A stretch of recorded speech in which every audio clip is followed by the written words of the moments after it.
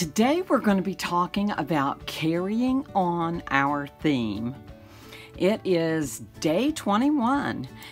So, we're going to be talking today about how to bring this wonderful little matchbook thing that we have been working on for the last few days, how to bring it and connect it with the book that we're making, with our altered book. And you know, we've got some um, stenciling in here and we've got some light blue colorways and some navy blue colorways. So I think this is this page was a good one to open to. This is exactly what I'm going to concentrate on doing in here because we do have some yellow and rusty pages in here and we've got that taken care of just by the wonderful set of scrapbooking papers that we had that have these rusts and yellows and kind of fall colors in here. So we're going to add some of our blues in today and just make it all kind of gel together. So I did, let me show you this a little bit. I have, I spent some time yesterday put that in there. Spent some time yesterday flushing out this wonderful little insides. We made our little library pocket yesterday and I added some other little pieces in here. There's a cute little pocket there. So we've learned how to do pockets a couple of different ways and envelopes. And these we're just taking some of the elements and folding them and aging the edges and attaching some of our little notes to the back, which were aged. Uh, you saw me put this on here. So we're going to finish putting some of the elements on there and we are going to stencil some of our stencil and paint some of our little blue in here. So let me get this on our palette which is a foam plate, my favorite palette. So many uses for that. And this is, again, a navy blue and a French blue color. And let's just decide what elements we are going to stencil on. And you know we used this stencil before, which is a nice little floral design. So we're going to be using some parts of that in our little segment today. So the first thing I'm going to do is maybe come in here and take these two pieces. I'm going to go ahead and put them on there. And I am just, I just want a hint of the stenciling. So again, you load your brush by dipping it straight down in the paint and making at least three puddles that are twice as big as the tip of the brush. And I'm going to make a fourth one just because I don't want, don't want too much paint to seep under here. So I am just going to come randomly do some little areas here. Not overthinking it.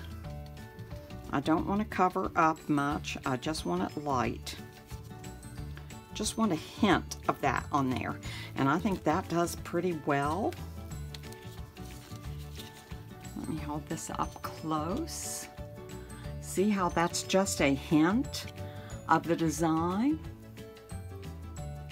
And if you if you load your brush the way I told you, the way I just showed you how to do, then this dries almost immediately. See, there's no smearing or, or to that because it is already dry. Yay!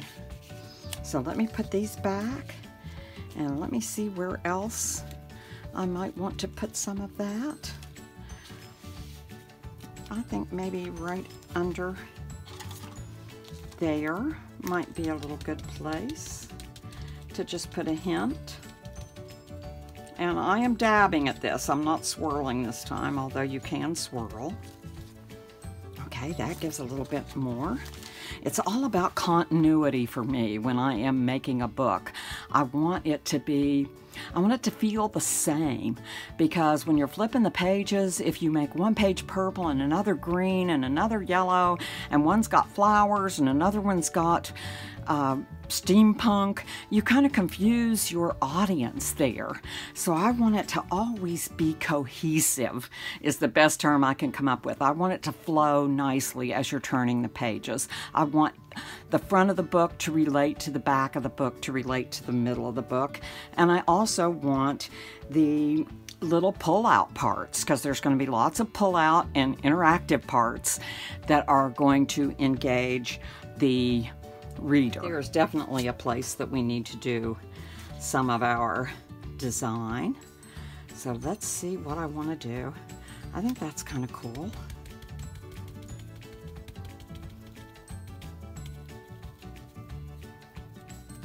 Oh yeah, that is cool. So you see how I'm just bringing hints of it. It's not a whole bunch. We're not going over the top but you can go over the top if that's what you want to do. This is yours. This is your book. This is your thing. So I am also going to take, because there's still a little bit of nice little color on my brush, I'm just going to come in here and brush some of that blue color around on some of my little pieces. And that also brings in another component, but it also brings that blue. Isn't that cool? Look how pretty that turned out. So just a hint. That kind of brings our like French blue color in without without even thinking about it. I'm going to go ahead and do that. So I'm loving the way that looks. I'm going to do some on this side of this little book. Just bring some of that light blue in there and maybe a little bit inside. So you can see that loading this brush and offloading it like I did, that there is still, this paint is going a long, long way, isn't it? And I think I might just add a hair on here. Just a hint, just a little hint of those colors. All right, so let's add a couple of more elements. I think that could use just a little bit of blue right in there. And this one might add some. And I kind of had this figured out yesterday and I've kind of forgotten what I want to do. I think this element is going to go here to counter that one. So let me go ahead and attach it. I just, I love putting these puzzles together, don't you? Don't you just like the randomness, but how it all comes together and just makes a lovely design when you're finished? And I think that happens when you use one of these colorways of the scrapbook papers. I really had not done a lot of that. I have always kind of designed my own elements, which I'm going to start doing for you guys sometime shortly. I promise I'm going to do that. So I think I want to put this down here and then I'm going to put this little round that I cut out and I still think I should have enough blue on there to be able to give a hint of blue. I do. And I may end up doing something else with that. But it says Once Upon a Time on there, so I loved that. So I think I'm just going to glue that down and make another little pocket.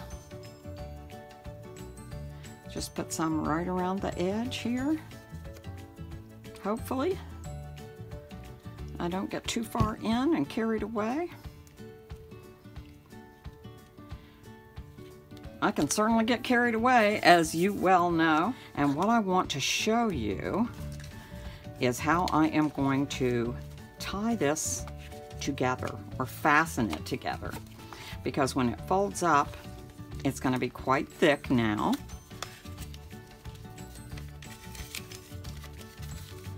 And it won't stay down, so I want to take some ribbon and tie around there. So let me cut that piece. I'm going to show you my trick for this. Let me double check the tie of it. Let me go ahead and tie it with these little fingers. That's pretty good, I think. So I'm going to go ahead and put that over top of my ribbon. So that's how I fix my ribbon on there.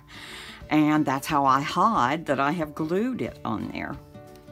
So once upon a time, that's the way it opens. So I'm going to put that in this direction. So I'm going to put a little glue under my ribbon, just a tad. And then I am going to glue this over top. And that hides any of my structure. any of the, that's the good thing about making books, is you want to hide the way you made them. You don't want your audience to be able to see all those intricate little things that you did. You want to kind of like magic, kind of let them wonder, how did she do that? So I think that's pretty good. I hope this makes sense to you. I always hide the ribbon. I love ribbons in my work, but I always want to hide them. So I think that's pretty neat. I hope you think so too. And I hope my audience will think so. Is, can you imagine 21 days, three weeks? I am so excited about this and I'm loving every minute of it. So, anyway, enough about me. This is all about you, and I hope I'm encouraging your creativity, and my creativity is becoming contagious to you. I hope. So, anyway, I will be back tomorrow, and until we meet again, may joy be with you all.